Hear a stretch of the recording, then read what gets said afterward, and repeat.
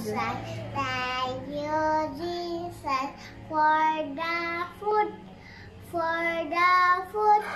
Many